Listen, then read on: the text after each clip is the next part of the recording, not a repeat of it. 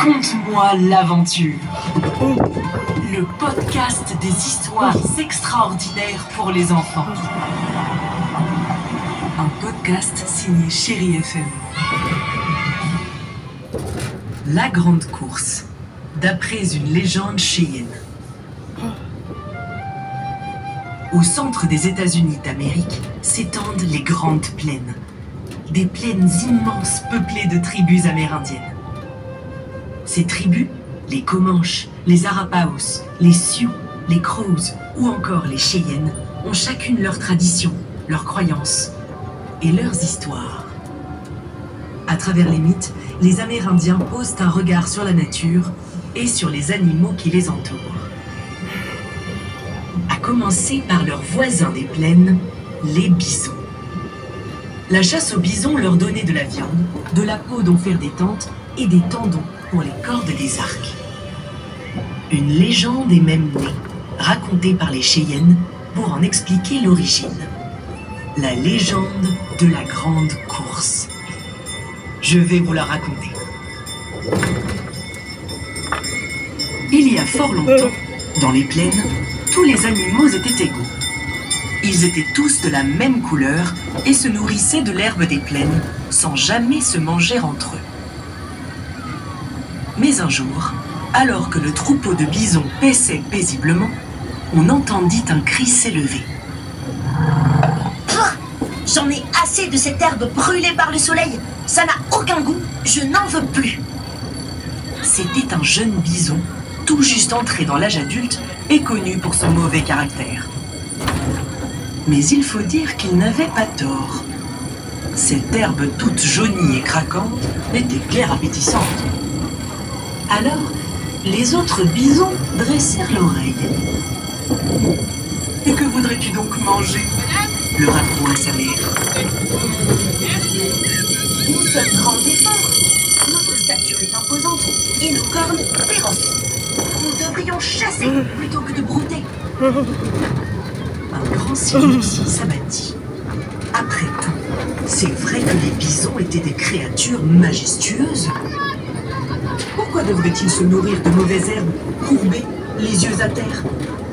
Ils méritaient bien un plat digne de ce nom.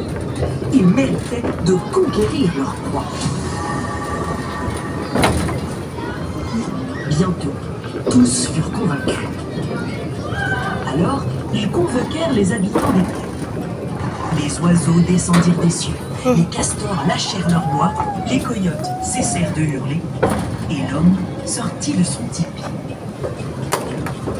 Lorsque tous furent réunis, le jeune bison tête brûlée, devenu le chef du troupeau, prit la parole.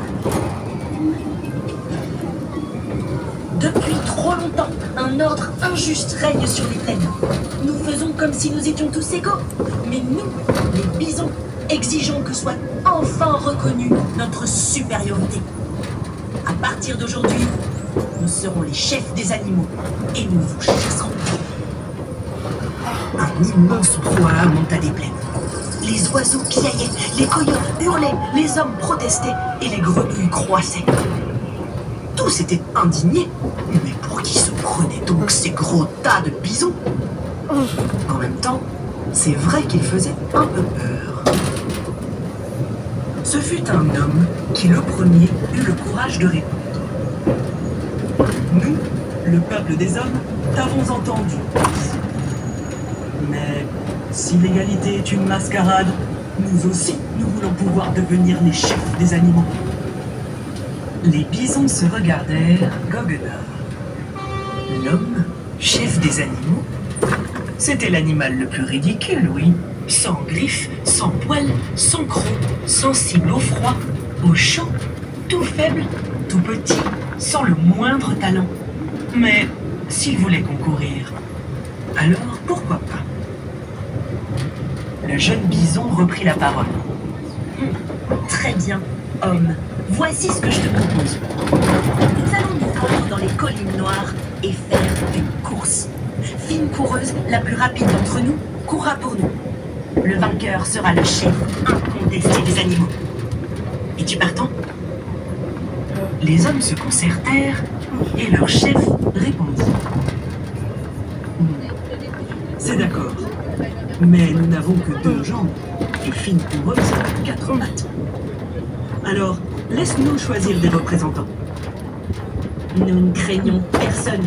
Choisis qui tu veux et rejoins-nous aux collines noires. Si tu nous rattrapes, répondit crânement le bison. Les hommes demandèrent aux oiseaux de les représenter. S'ils devaient gagner, pensait-il, ce serait à tir d'aile. Quatre acceptèrent. Le rossignol au chant clair, la gentille alouette, le faucon au regard perçant et la. Mais les champions des hommes ne seraient pas seuls à concourir.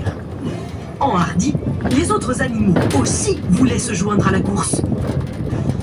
Si l'homme, créature misérable, pouvait prétendre au titre de chef, pourquoi pas eux? Avant la course, les animaux se peignirent le visage et le corps. Et les couleurs qu'ils choisirent pour intimider leurs adversaires seraient à jamais celles de leur espèce. La salamandre se fit des traits jaunes comme des éclairs sur le dos. L'antilope s'était peinte de la couleur de la terre pour filer invisible. Le porc-épic, lui, avait teint de blanc le bout de ses piquants. Tous étaient présents à découdre. La victoire était à portée de main, ou plutôt de patte.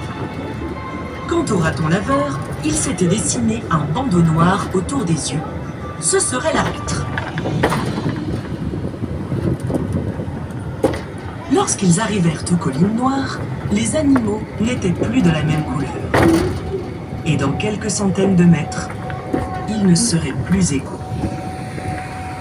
Fine coureuse les regarda arriver avec dédain, sûre de son sabot. Très bien, elle les affronterait.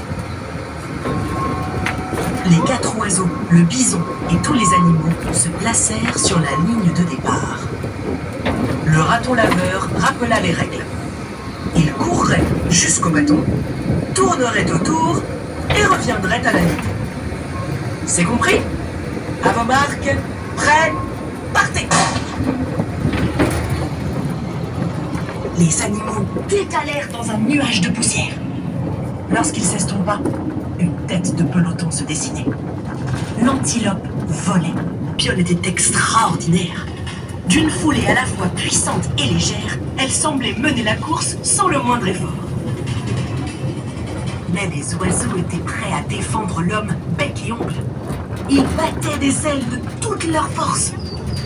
Le rossignol, le premier, dans un chant joyeux, parvint à dépasser Fine Coureuse. Mais le vent soufflait fort et le frêle oiseau avait de plus en plus de mal à lui résister. Bientôt, le bison le rattrapa et le dépassa. Heureusement, l'alouette remonta à son tour le peloton. Elle gagnait du terrain, rejoignant le derrière du bison, puis son cou. Ils arrivaient au poteau. Alouette prit de l'élan, atteignit l'oreille de fine coureuse et... Aïe, aïe, aïe En tournant, le bison avait envoyé sa corne dans l'aile de l'oiseau. La pauvre alouette, blessée, elle tenait le rythme. À présent, la ligne était là. Alors, dans un dernier effort, dans un dernier mouvement d'aile, la pie accéléra, fonça. En sentant ses ailes battre à son oreille, Coureuse, surprise, se retourna. Cette seconde d'inattention la perdit. Une seconde avant le bison, la pie vint taper du bec dans la main du raton laveur. C'était gagné. Les hommes acclamèrent la vaillante pie. Ouah Grâce à elle, ils étaient désormais les chefs incontestés des plaines. Les Indiens